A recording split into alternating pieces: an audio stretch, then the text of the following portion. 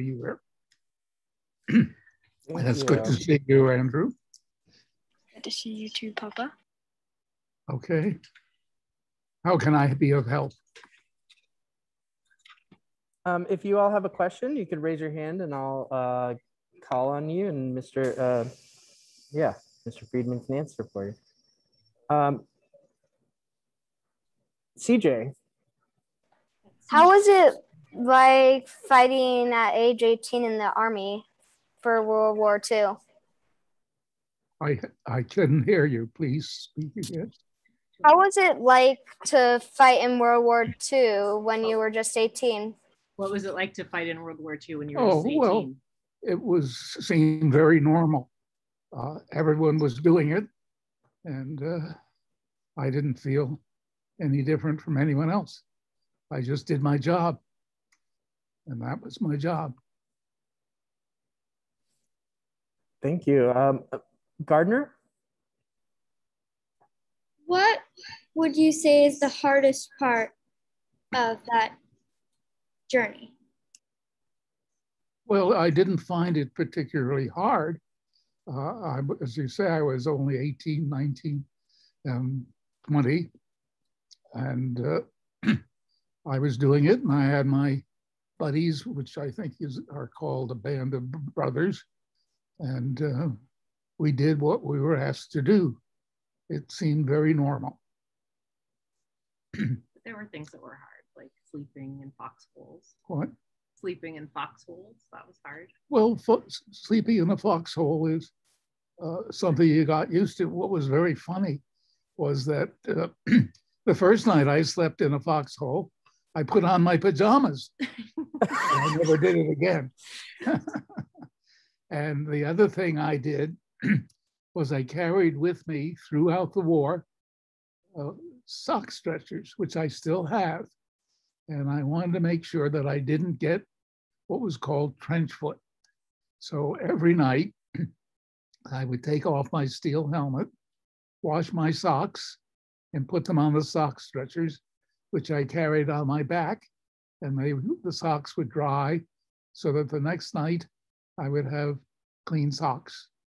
And I never did get trench foot. They're gonna ask Thank you. Uh, Mr. Friedman, would you mind just describing what a foxhole is for the students? I think some of them might be unfamiliar with what that is. Oh, a foxhole was a hole we would dig every night uh, you know, and crawl into it so that everything above our helmet was below ground. And therefore, if anyone tried to shoot us, uh, they couldn't see us because we were underground. uh, there, I can tell you some stories about foxholes if you're interested. Would you like to hear a story about a foxhole? Okay. Uh, the first night that we were in combat, our commander had us dig foxholes under a line of trees. And that turned out to be a disaster because the Germans would shoot their weapons into the trees and they would explode and fall down on us. So that the foxhole was no didn't work. And the more interesting story about a foxhole was one day my buddy Carl Schendel and I dug a foxhole together because the ground was very frozen. and when we were finished, we squeezed into it and we took turns staying awake because we were at the point of our defense. In other words, we were the first persons that any Germans would come would see if they tried to attack us. I was asleep and Schendel was supposed to be in charge, but he fell asleep too. And the next thing that happened was I felt a tapping on my helmet. And I looked up and I, what I see? Two German soldiers. And so I said in my best German, What do you want? and they both put their hands over their heads. In other words, they both surrendered to me while I was asleep. It You like that been very foxhole diff- It story? could have been a different story. What? I said the alternative ending would not have been so good. Well, if Yeah. if they, if the German soldiers had decided otherwise, I wouldn't be talking to you today. Anyway, That- that's my favorite foxhole story.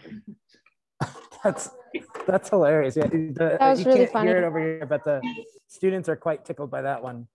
Um, Sienna, Was there one memory that really stand that stood out to you? Like one something that happened except for the Germans in the foxhole that really stood out to you? Your injury. Well, the, the- the one thing that sticks in my mind, of course, is the liberation of the Mauthausen concentration camp. Uh, that's something that I didn't expect to see. And it was horrifying to see all the dead bodies and the emaciated prisoners. Uh, I had no way of knowing what a concentration camp was but uh, that's something that sticks in my mind. You're coming into the camp and seeing those poor people. And then even in that camp, I had an experience which I'll never forget because one of my duties was to keep peace among the inmates. And one day I found two of them trying to kill each other. And so I took my rifle and I pointed at him and I said, Stop. What's wrong with you guys? I mean, you were both prisoners in the concentration camp. And one of them said in English, You Americans don't understand. He's a Pole and I'm a Czech. Well, I don't understand that. And I never did. And that stuck with me. Okay, wow. Do you want me to say anything to make up, to tell you about the history of this? Is this a history class that I'm This- talking to? This is a history and English class. Uh, We've been reading the Diary of Anne Frank, um, but we're interested in whatever you have to share with us. We're we're Well- really eager. Well, history is very important. There's a saying, if you don't learn from history, you are doomed to re, uh, uh, to re-experience it. And we should all learn from the history of World War One and Two. Actually, World War One and Two were the same war. World War Two was just a continuation. At the end of World War One, the Germans who lost the war were treated very badly. And they resented it. And then on top of that, there was a depression, economic depression, which started in 1929. And it hit Germany very well, very strongly. And there were a lot of unemployed people in Germany.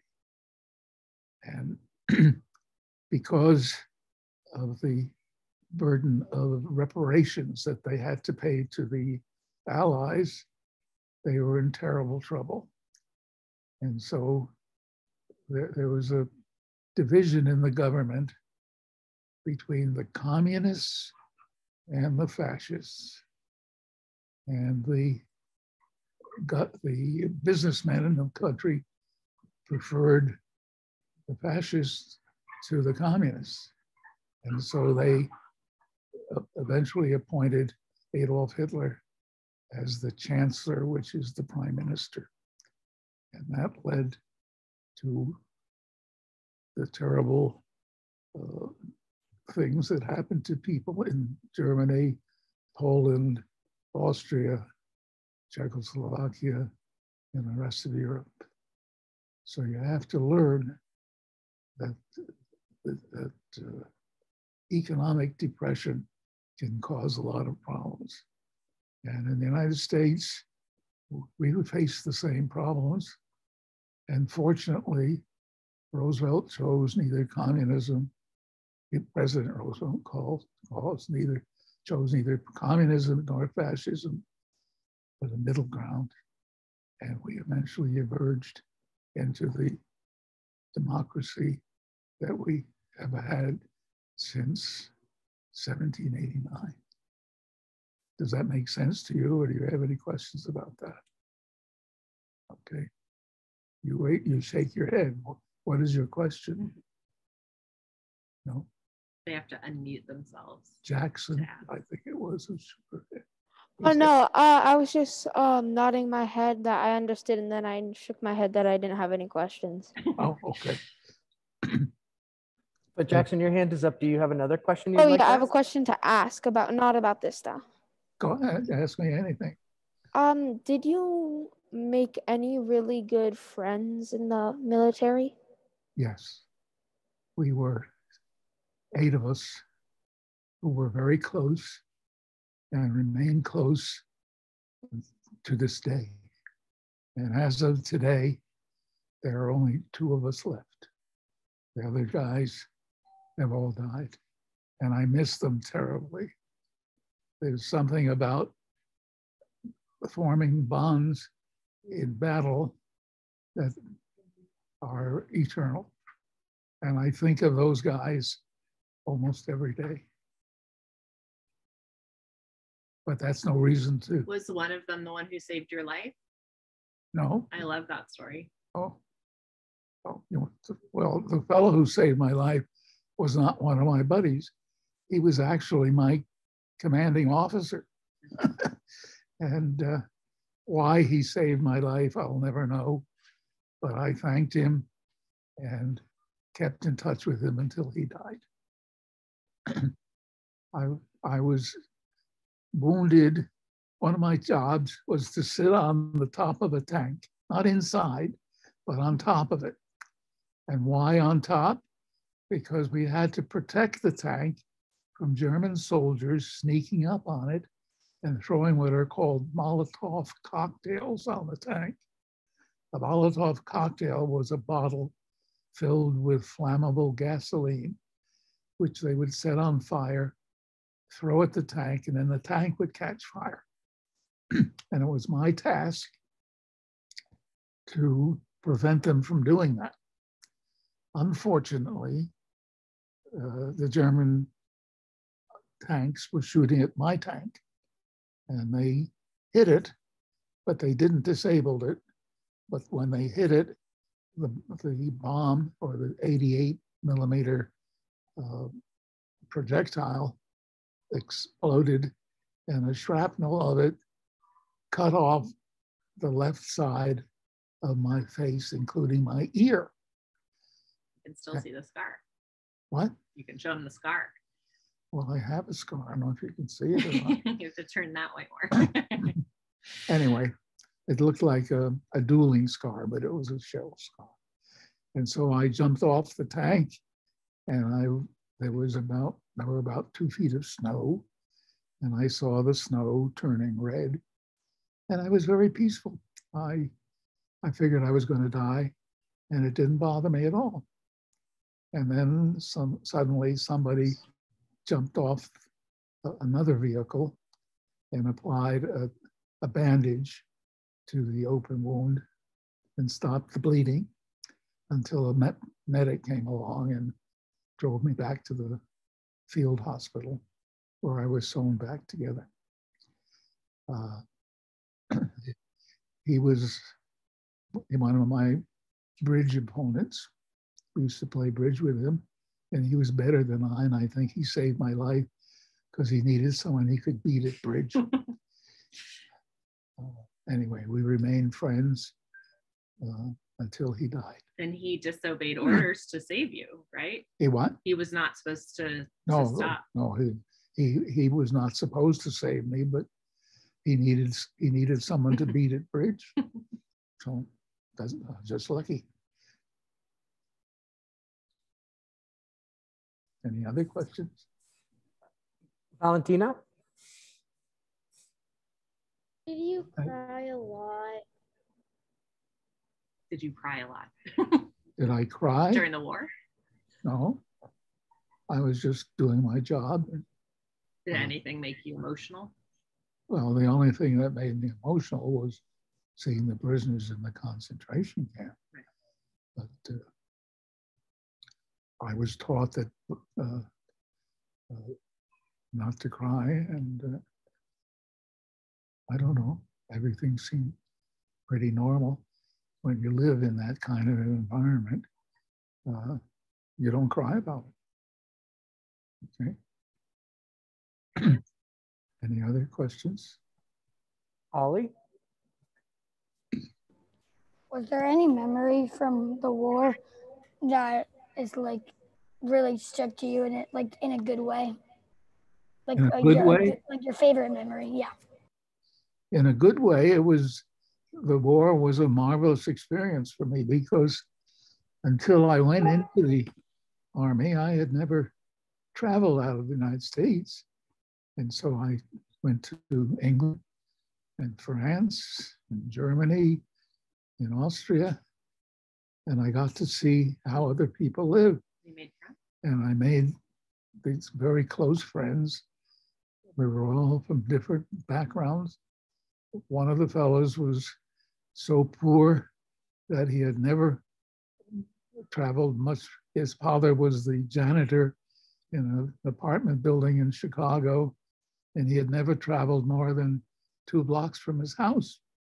Another one of my friends inherited $15 million when he was born.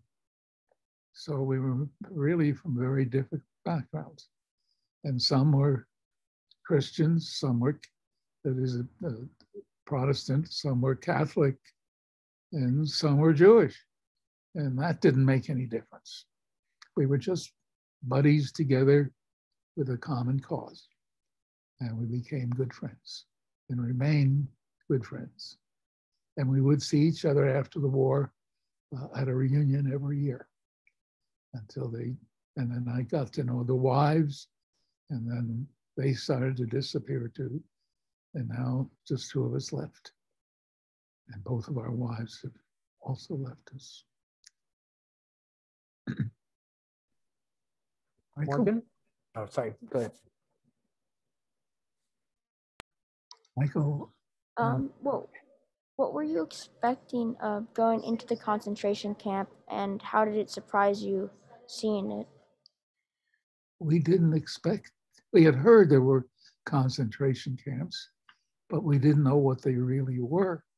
It wasn't until the war ended that they that we would learn that concentration meant extermination. So the people in the camps were made to work for the Nazis, but they were made to work so hard and given so little care that they were expected to die. And if they caused any trouble, they were just killed because they had what they called gas chambers, where they would tell them they're getting showers, and the showers turned out to be poison gas. And then they would be put into ovens and incinerated.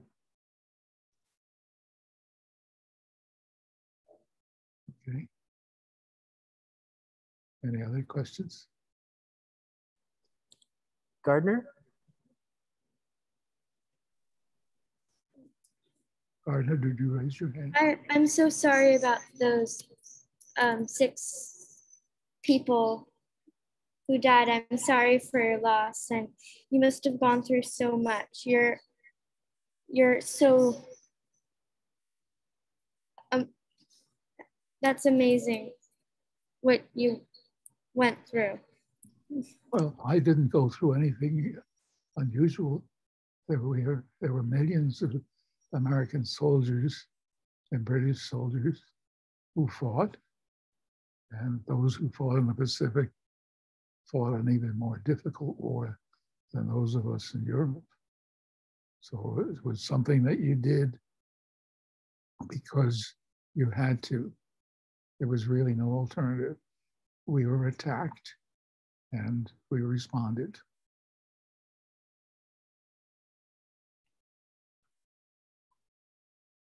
Okay. And Jackson, Um. Uh, wait, wait, where did you fight? Um, where was your, uh, where did you fight oh, in the war?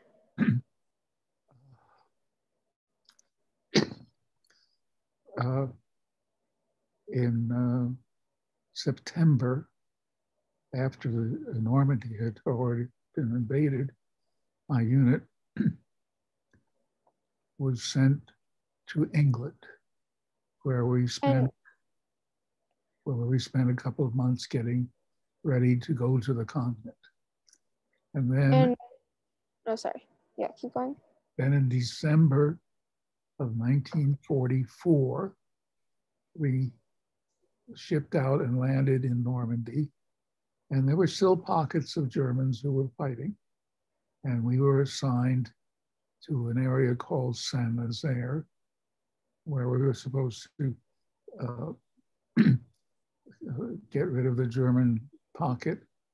But uh, the day we were to arrive, the German army broke through the Ardennes forest, which is in Belgium, and were headed for the port of Antwerp because they wanted to divide the American forces, which were south of that line, from the British who were north of that line. And Mhm. so we took two days on a forced march, never stopping until we got to Belgium. And um, my main question was because my grandfather he fought in the war and he fought in that time and place, and he Uh-huh. was a pilot. Oh, And he recently died, but his name was Stanley George, and I was wondering if you ever met him. no, I didn't know any of my fellows in the Air Force. Uh, I had a cousin who was in the Air Force, and he visited me while I was in the hospital in England recovering from my war wounds. And he was shot down over Germany, but he he landed and was rescued by the uh, underground and brought back to the to England where his uh, unit was, and he never really recovered. He had uh, post-traumatic stress syndrome from that shooting down, because you can imagine being in the air, having to parachute to ground, and being Jewish. If he had been captured by the Germans, he would not have survived. So the rest of his life was destroyed by that event. Uh, but I didn't know uh, any guys in the Air Force.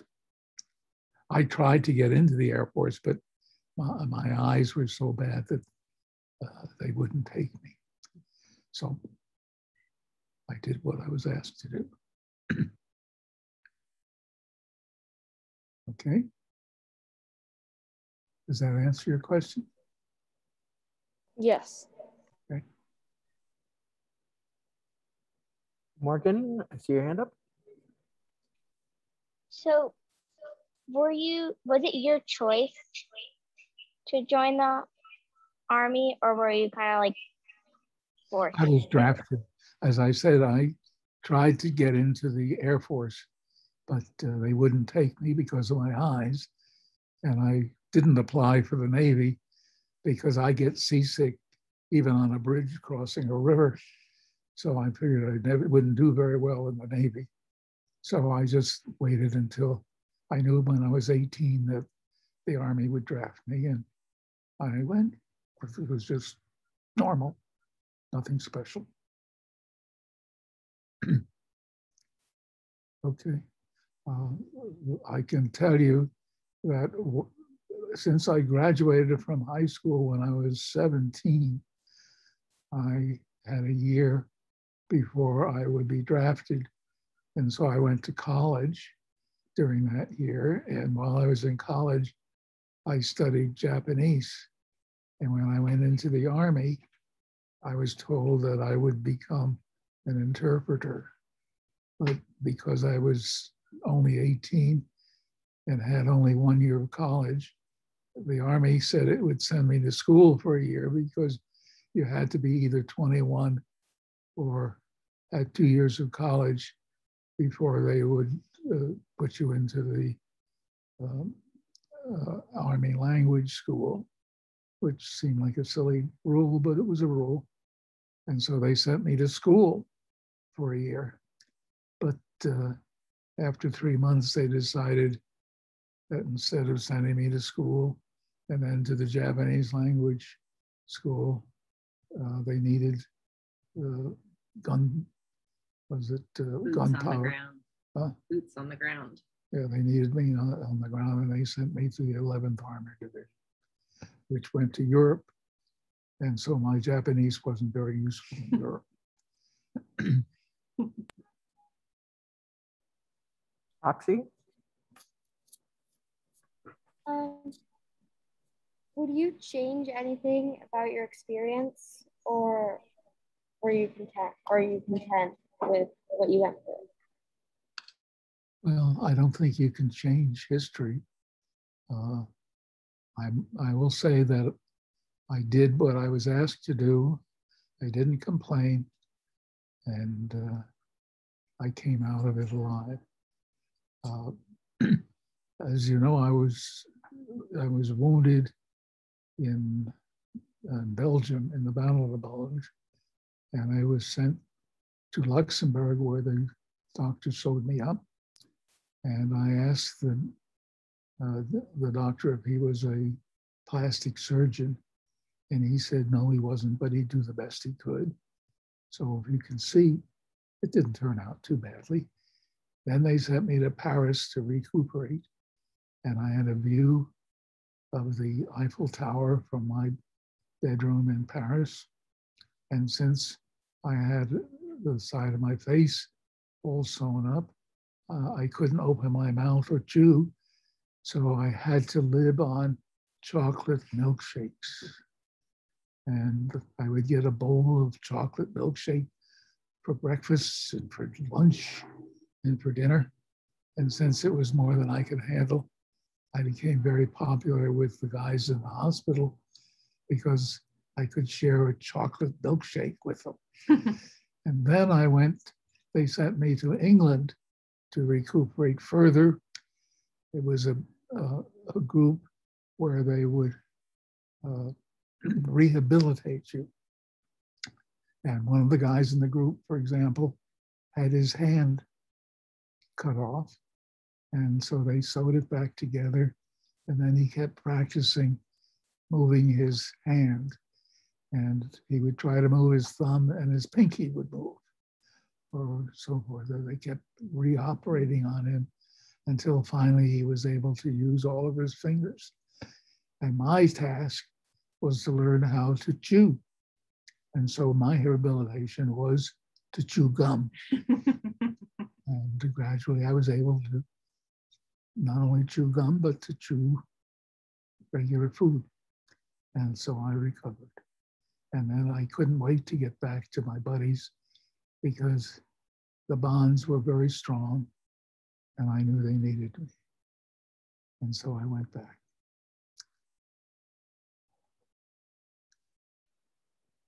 Teo? Did you have any, or were you nervous, or did you have any apprehension when you joined the army, or were you just ready for duty? No, I, I took everything in stride. And I know one of the questions was, was I ever afraid? And I, I never was. Because when you, I, I don't know if this is true of everybody, but I, until I was hit, I figured I was invincible. Because when you're 19 years old, you are invincible. You never think about death. So uh, I just did what I was supposed to do. And my buddies all did the same thing. We all did what we were supposed to do. And uh, after I did get hit uh, and returned, I was a little bit nervous about getting hit again. But by that time, uh, we were uh, quite uh, successful. My unit was already deep into Germany. So it was uh, there was nothing to be afraid of. The war was almost over, right? It was getting close to the end, yeah. And uh, so I, I never, um, I may, I don't know why, but I was never afraid. I just figured everything would be fine. And it turned out, I mean, I'm still around long after I expected to be. Thank you. Okay. Uh, Asher? I, I hope none of you ever have to have the experience that I had. Uh, you have to somehow keep uh, this country from war, but you may not be able to avoid it because the decision may not be ours. There are people in the world who are jealous of what we have in the United States, and armaments have become more and more terrifying. And so, if there's another war, I doubt that it'll be anything like the one in which I served. I wish you all peace and happiness and be vigilant. Because what happened in Germany could happen here.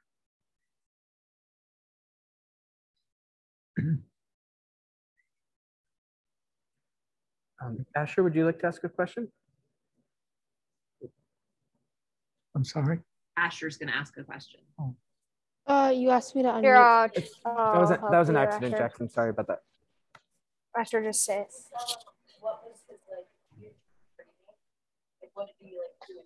Uh, Asher says, "What do you get? What do you usually do in training every day? Do you do anything special or?" Oh, we were in, I was in the best physical shape I've ever been in because we would do calisthenics, we would hike, and uh, one of my buddies always hid in the barracks behind a, a big bag when we went out to exercise. He's still alive.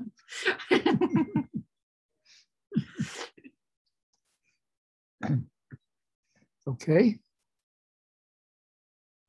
Valentina? A lot of questions. What did you eat in a day? Well, we had what were called C rations and K rations.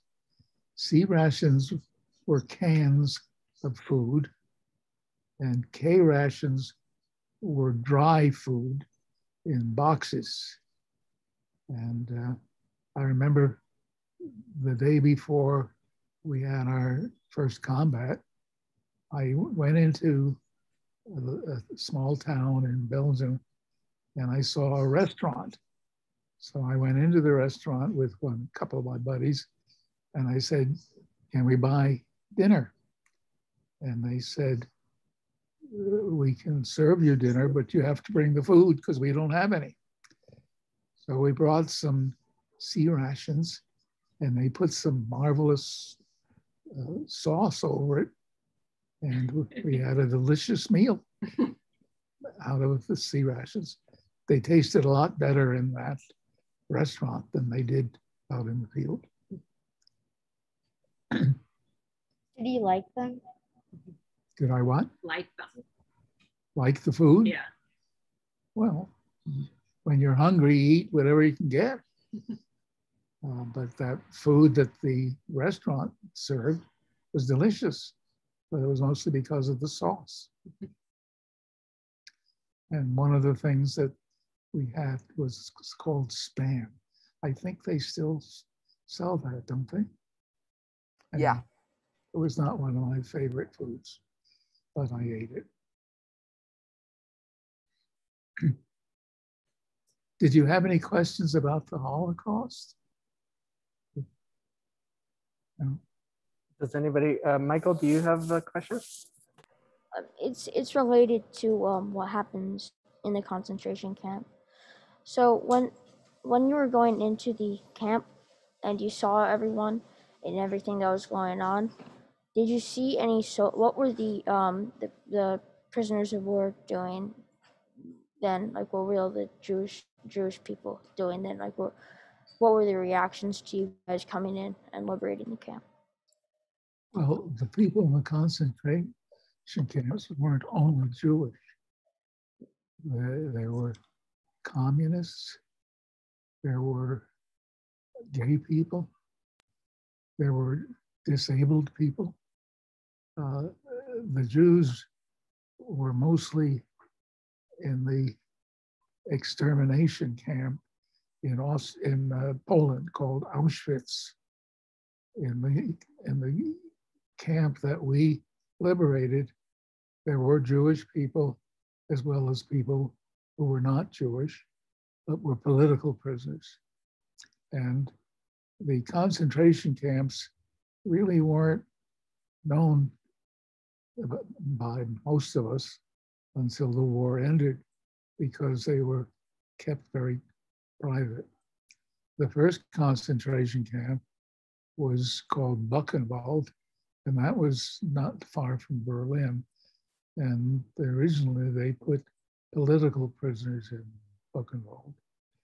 And then gradually they decided to get rid of all the Jews in Europe.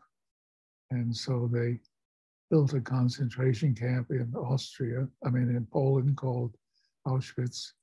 And they would send people there.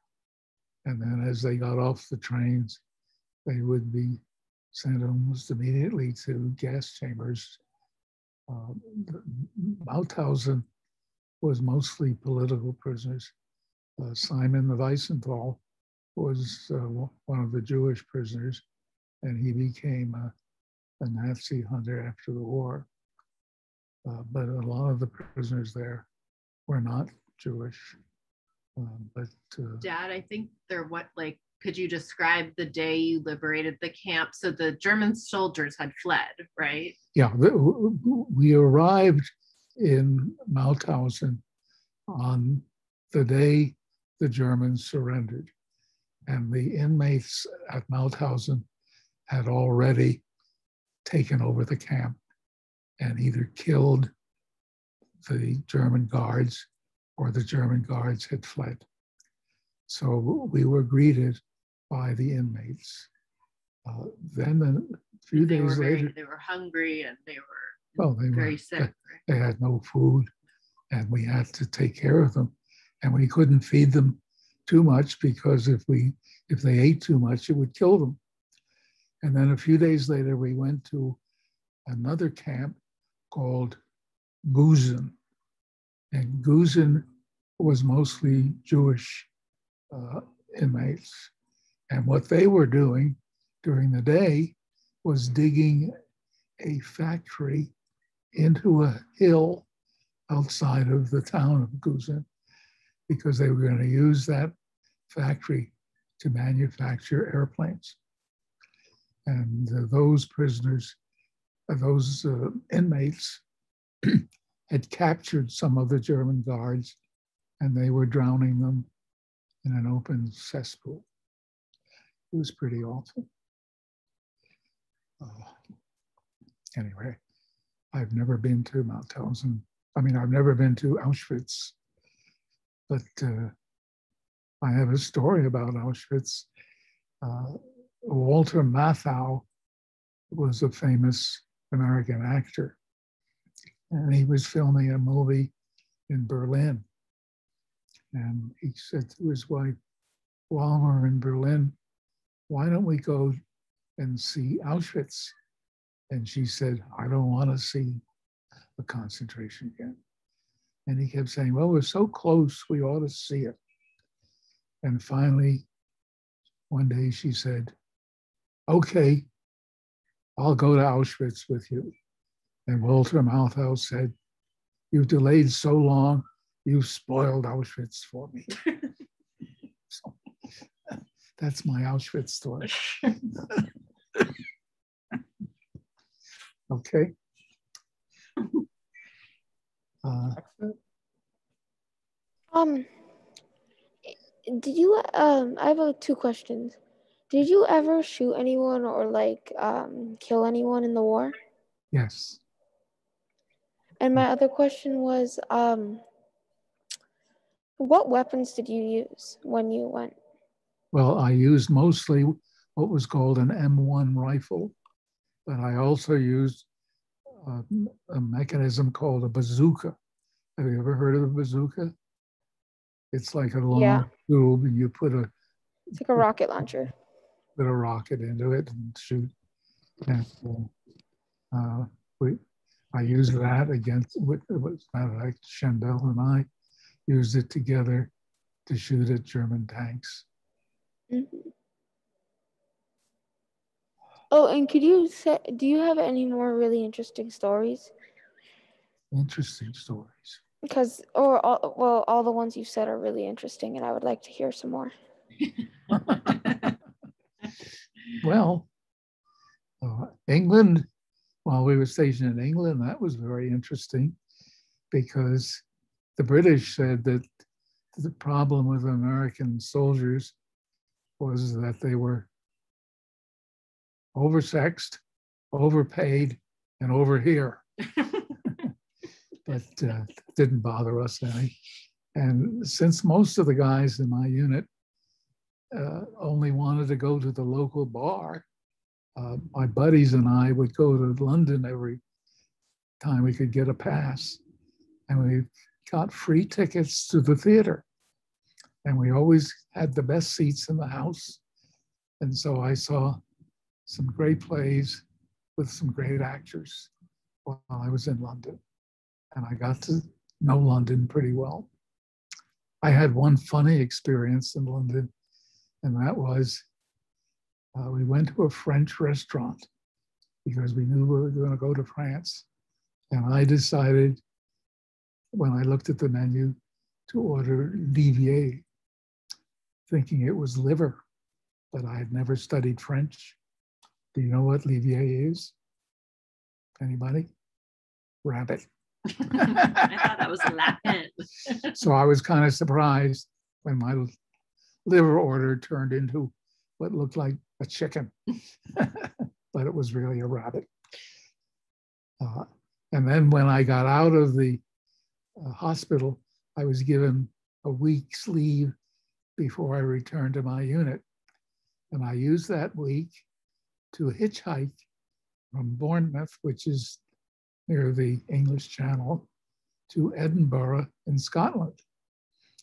And since I had rowed in a eight oared uh, shell when I was in college, I decided to stop at Oxford on the way because my coach had been at Oxford before he came to my college.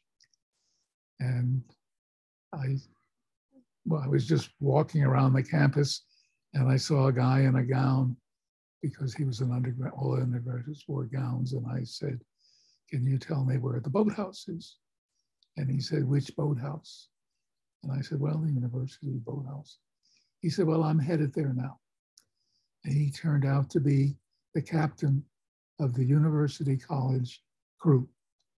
And so we went to the boathouse. And when we got there, they were one guy short of the, in order for an eight, you know, eight uh, oared shell. And they asked me if I would row with them. And I said I would, except that the British used the long layback and we used the short layback. And I was afraid that they'd poke into me when I was rowing. So they said, we have a, a solution for that. You can be the stroke.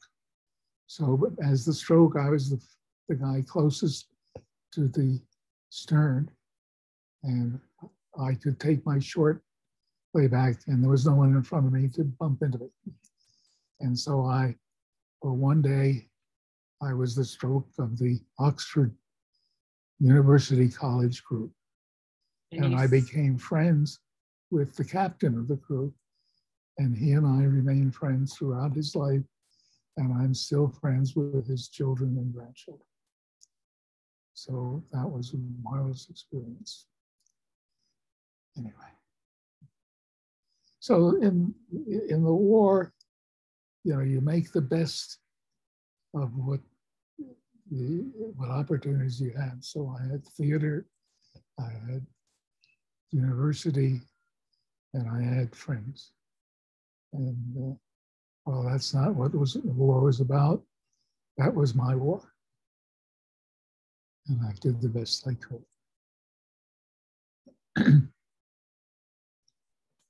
Thank you. CJ? I'm sorry. I actually forgot my question. Andrew can ask questions. What? See if Andrew has any questions. Andrew? Uh, I have one question. Um, did you find any Germans in other people's houses, or did you find any Germans hiding anywhere? Did I what? Find Germans hiding or find Germans in other people's houses. Well, most of the German soldiers I encountered were out in the field. Although when we got into Germany, instead of sleeping in foxholes, we would sleep in the German houses. Oh, there is one incident which you might find interesting. Soon after I rejoined my outfit, after I'd been in the hospital, my squad got very far ahead of the rest of the unit. And while the rest of the army was catching up with us, we were in the town called Kulmbach, K U L M B A C H.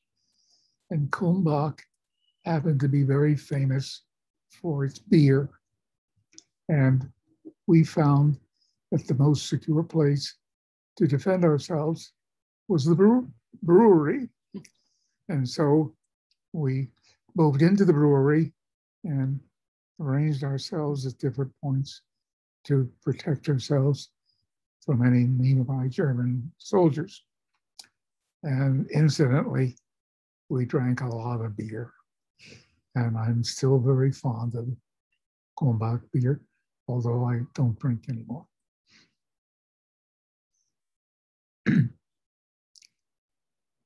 Michael? Um, uh, so when you were um, a, um, an active duty and you were fighting against the Germans, where would you, wh- who, um, did you, did you ever get close to the lines and see them? Or did you ever go, uh, who, wh- where were you positioned usually? But I, I Where, think, what was your position on the on the line? Like how close to the front lines were you? oh, I was a private. And my job was to shoot at German soldiers, which I did. And so I did my job and I captured a number of people and I shot a number of people. Um, You should day- tell them the story though about the captain who ordered you to do something and you said no. Oh. Um, early in the in my war, uh, my unit saw a motorcycle, the motor still running in front of a house, and so my commanding officer said, "Friedman, go see who's in that house." So I, I said, "Why?" He said, Well, you speak German. Well, I didn't speak German very well, but I went up to the house and I knocked on the door and I said in my best German, Kommen Sie heraus, which means come out. And the door opened very slowly and I saw a woman and she kept saying, Seville, Seville. And so I turned back to my buddies and I said, Harry, she's speaking French. You speak French, so why don't you come up here? he kept pointing at the door. And when I turned around, I saw that the door had opened. And inside the door, there were a whole bunch of German soldiers. So I took my rifle and I swung it around. And unfortunately, I had a sharp bayonet at the end of my rifle, and the bayonet went into the lintel of the door. And there I was with my arms holding onto a rifle that was stuck in the door, and all these Germans facing me. And what those Germans did was they all put their heads on top of their heads. And the officer in charge came to me while I was pulling my rifle out of the door and handed me his Luger pistol. And 16 of them surrendered to me. And so when I took them back, my company commander said, We can't take care of this many prisoners. Would you please? I order you to shoot them all. And I said, I don't kill prisoners. And I turned my back on him and walked away. So he got somebody else to kill them all, which was not very nice. That's one of my sad memories of the war.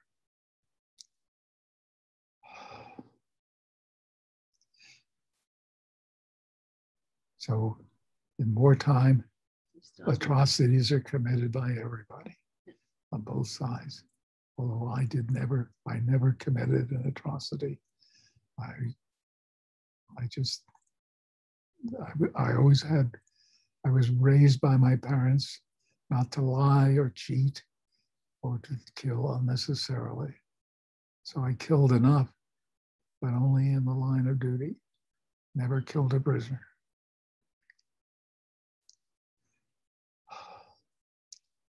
I, I, thought you were studying the Holocaust. Do you know, are there questions about the Holocaust that you might have? Yeah, let's, we have a few more minutes. Could we reserve this for questions about the Holocaust or things related to what we've been studying? I think, um, I think students have been really taken by your stories and I think they're um, asking about uh, these questions because your stories are so fascinating. Um, but Michael, do you have a question? So uh, I know quite a lot about who all went to the concentration camps. It was mostly Jew- Jewish communists. There's um, uh, right. gay, gays, gay, gay people, people, and gay people. gypsies. and gypsies. Yes, gypsies, gay people and gypsies. Were there any others like small minorities? Disabled people. Well, if you were disabled, for example, I have a daughter who has Down syndrome. Well, she would have been sent to not to a concentration camp, but to an extermination hospital. Uh, the uh, Wait, what's an extermination hospital? Because um, it says it has hospital, which means he like a healing hospital, but it has extermination, which means kill. Yeah, but they, they would send these disabled people to a hospital and experiment on them. And if they didn't die in the experiment, they would be euthanized and killed. So uh, it was pretty awful. Uh, the, the, way the, the way the Holocaust started was uh, Hitler was appointed chancellor, which is the same as prime minister, by the president of Germany, who was Paul von Hindenburg. He had been a general in World War One. And the first thing that Hitler did after he was appointed general, uh, ch uh, chancellor was to say that the universities were overcrowded and therefore Jews couldn't attend because they had to make the universities less crowded. And so the Jews were eliminated. And then the next thing they did was they said that Jews couldn't be teachers. Uh, and so they lost their jobs as teachers. And then eventually they decided that just like the Germans wore armbands with swastikas on them, the Jews would wear armbands that said Jew on the armband. And then the Jews, businesses had the windows smeared with the word Jew on the windshield, on the windows. And people were told not to patronize businesses that were owned by Jews. Uh, there was a famous uh, German minister. He was a Lutheran minister. His name was Martin Niemöller. And he said, first, they came after the socialists. And I was not a socialist, and so I did nothing. Then they came after the uh, trade unionists, and I was not a trade unionist, and so I did nothing. And then they came after the Jews, and I was not Jewish, so I did nothing. And then they came after me, and there was no one to speak for me. And that sort of summed up what happened in Germany. People gradually were discriminated against for no reason until the only people left were people who were loyal to the Nazis. Uh, and they fought in the war until the Russians captured Berlin and Hitler committed suicide. It was a very sad tale that a great country like Germany would fall to such terrible conditions. And the reason that Germany has returned to the community of nations is that the United States Marshall Plan, unlike the reparations plan after World War I, helped Germany to rebuild itself. And so the Germans have developed a very civil society. But for the 11 years that the Nazis were in charge, it kept getting worse and worse.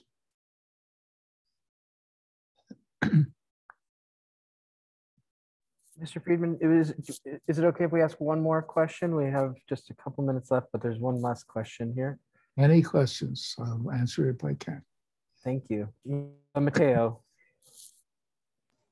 Uh, similar to the story of Anne Frank, did you did you ever run into someone who were who was in hiding, or any families that were in hiding? No, I I only met them after the war. I didn't meet them during the war, but after the war, I met some families who had been uh, rescued by local people. I knew a family who were Jewish and in Czechoslovakia, and they were protected by the Catholic Church uh, during the war, and they survived. So there were there were good people and bad people and there always will be. And I hope all of you will turn out to be good people. Well, I think we we need to wrap things up because the school day is ending. But thank you so much for joining us, Mr. Friedman. Um, thank you so much. Thank Yeah, you. please give him a Thank you so much. You're Thank you so amazing. much. Thank you very much. You're Bye. so brave and amazing. It was all my life. Anything that my grandson asked me to do, I'm happy. to. Enjoy your lives.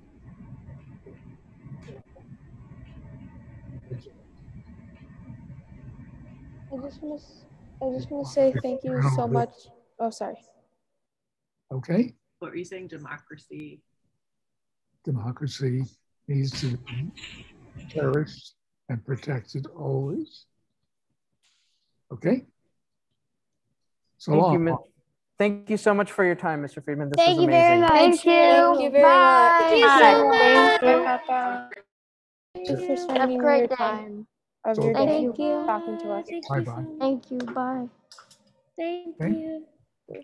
Thank you. Thank you. Thank you so much.